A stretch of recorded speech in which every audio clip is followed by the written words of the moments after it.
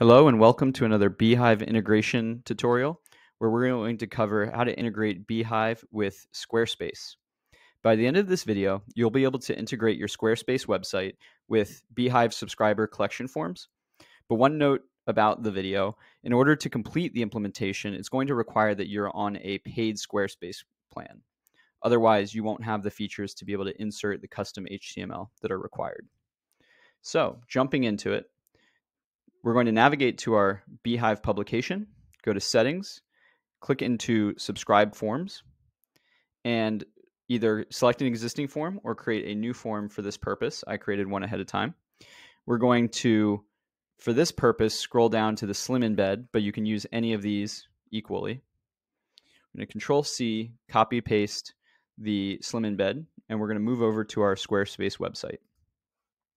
For the purpose of this tutorial, I'm going to be inserting the sign up form in the footer. So I'm going to scroll down, click edit, get into this editor. What I did was click the plus button beneath this made with Squarespace button. It doesn't really matter, just up to your design and where you want it to be.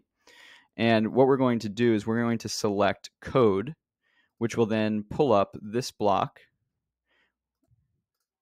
There we go it's going to pull up this box where we can drop some code in. So we're going to paste the code that we copied from beehiiv and we're going to save it. And now you'll have your subscribe form.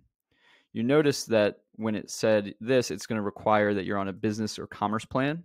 So in order to implement this form, you're going to have to be on that paid plan. Once you've inserted the code and it's showing up the way you like it, the last step to completing the implementation is ensuring that we have our attribution helper script deployed.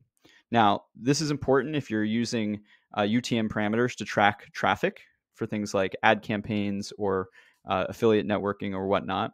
But to find to complete this last step, we're going to click into settings, go down to advanced, and then click into code injection, and we'll see this screen right here. We're going to go back to beehiiv, and we're going to copy and this attribution tracking script.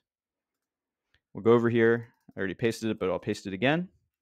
And then once we save and our site is published, when a user comes to your site with those UTM parameters, that script will push those parameters to this form so that when a user signs up, you'll be able to see their source medium, etc., in your beehiiv account under subscribers. These are tests that we had done previously, but this is how it'll show up. So that covers integrating beehiiv forms with Squarespace. Hopefully this was useful. Thank you so much for your time. We look forward to growing with you. Until next time.